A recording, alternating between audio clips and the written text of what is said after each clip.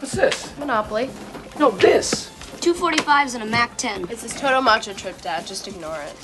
Where'd they come from? Captain Ron traded the grills for him. Yeah, I thought we ought to have them, boss, because, you know, we're getting into pirate waters here pretty quick. What pirates? Pirates of the Caribbean. Been to Disney World one too many times, have we, Captain Ron?